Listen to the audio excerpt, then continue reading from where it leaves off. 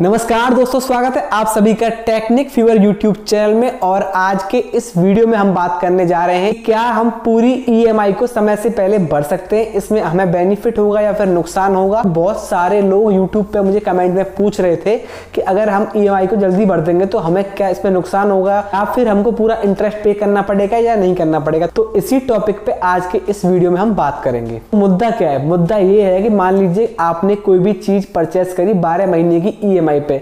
और आपके पास पैसा आ गया, आप सोच रहे हैं कि मैं बारह महीने तक क्या झंझट कि हर महीने ई एम भरूँ इंटरेस्ट उसकी दूँ तो मैं क्यों ना ईएमआई के टेन्योर को पूरे होने से पहले ही ईएमआई भर दूँ। तो अब मैं बताऊँगा कि आप ये कर सकते हैं कि नहीं कर सकते, आपको इसमें फ़ायदा होगा या नुकसान होगा। दोस्तों, बहुत सारे क्रेडिट कार्ड कंपनी और बैंक आपको ये अनुमति नहीं देते कि आप समय से पहले ईएमआई क्लोज कर दें। लेकिन फिर भी कुछ क्रेडिट कार्ड कंपनी ऐसी हैं जो आपको ये मौका देती हैं कि आपके पास अगर पैसा है तो आप पूरा पैसा एक मुश्त भर दें, उसके बाद आपको ईएमआई भरने की आवश्यकता नहीं होगी। लेकिन यहाँ पर भी एक पॉइंट होता है कि जो रिमेनिंग आउटस्टैंड आपकी बच रही होती है उस टाइम पे, उसके ऊपर वो आपको ढाई से तीन परसेंट लेती है फोर क्लोजर के लिए आपकी ईएमआई को। तो ऐसे में आपको नुकसान हो रहा है या फ़ायदा हो रहा है, ये आपको कैलकुलेट करना है कि आपकी जो आउटस्टैंडिंग बच रही है, उसके ऊपर दो या तीन परसेंट अगर आपको देना पड़ रहा है तो उसके बाद जो ईएमआई बन रही है, उसके ऊपर जो इंटरेस्ट लग रहा है, वो वाला ज़्यादा है, या फिर आपको जो फोर क्लोज करने के लिए ई को देना पड़ रहा है, वो ज़्यादा है। तो ये आप कैलकुलेशन करनी पड़ेगी और इसके लिए आपको अपने बैंक में बात करनी पड़ेगी कि आप अपनी ई को क्लोज करवाना चाह रहे हैं। तो वो कोई चार्ज लगाते हैं फोर क्लोजर के लिए ईएमआई के या नहीं लगाते, आपको बैंक से बात करना पड़ेगा। बहुत सारी कंपनियाँ ऐसी भी हैं जो आपके ईएमआई अकाउंट को क्लोज कर देती हैं, लेकिन आपसे कुछ फोर क्लोजर चार्ज लेती हैं। कई सारी कंपनियाँ ऐसी हैं, आप पैसा भर दोगे तो आपकी ईएमआई को वो टर्मिनेट कर देंगे और आपसे चार्ज भी नहीं लेते हैं और आपको जो है बाध्य नहीं करते कि आपकी ईएमआई जो है चलती रहेगी।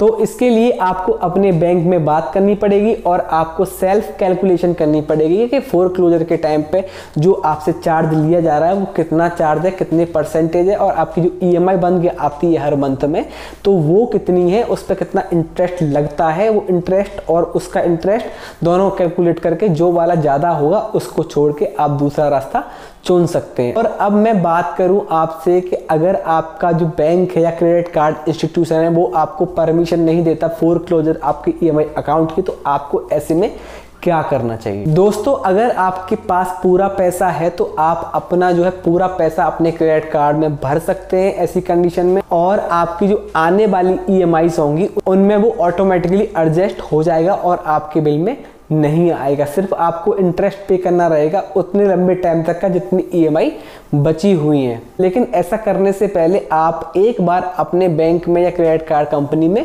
बात ज़रूर कर लें और उनको पूछ लें कि फोर क्लोजर पे कोई चार्ज लगता है या नहीं लगता है। तो आपकी जो ईएमआई है, वो फ्री में अगर टर्मिनेट हो जाती है तो बहुत अच्छी बात है। लेकिन इसका कोई भी फिक्स मैथ नहीं है, ये डिपेंड करता है कार्ड टू कार्ड पर दोस्तों, मुझे उम्मीद है कि ये जानकारी आपको पसंद आई होगी। अगर आपको वीडियो पसंद आया है तो प्लीज़ वीडियो को लाइक करें और हमारे चैनल को सब्सक्राइब करें। इसी के साथ मैं मिलूँगा आपसे अपने आने वाले किसी दूसरे वीडियो में। तब तक के लिए खुश रहें और सीखते रहें कोई नई टेक्निक।